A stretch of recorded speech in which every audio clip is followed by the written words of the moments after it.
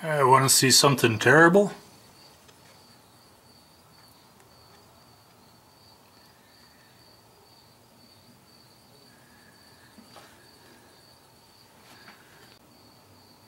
Comes right up.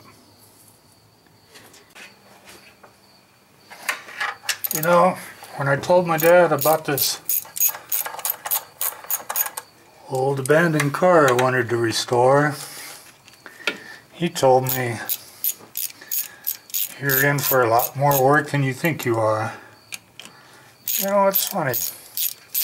No matter how smart you are, your dad always seems to turn out to be smarter than you are. I got a car. I'm going to put it on my daily driver list. It just needs a little work.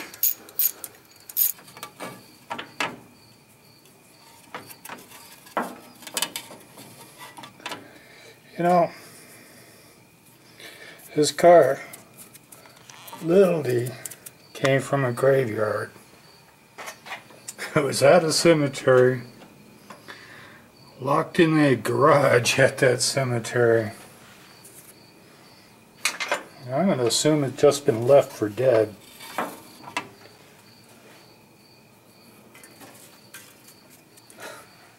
That's the time the oil was changed in this sucker, but guessing the last time it had that uh, sticker on it.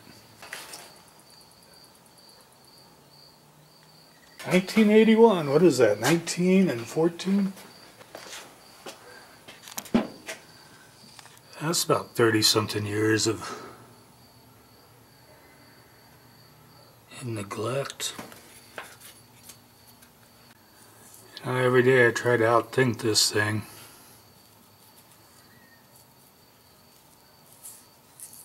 One of the plans was to uh, see if I could get this one running again.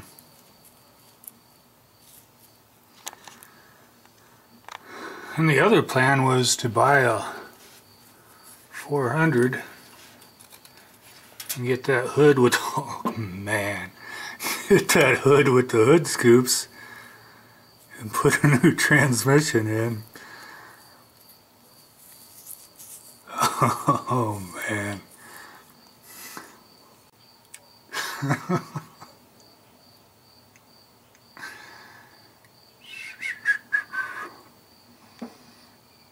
Alright. I'm going to have to rethink what's going on. Hey, that's a solid chunk of something right there. You know, until now I thought the biggest problem was uh, buying a new wiring harness because all the wires were sold. They were just cracking every time you bent them.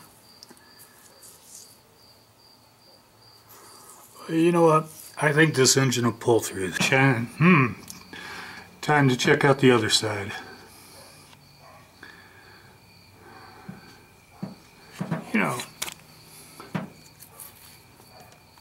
this side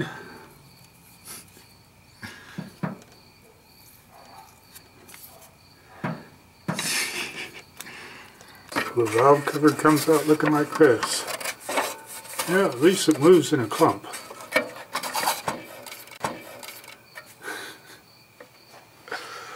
Oh man.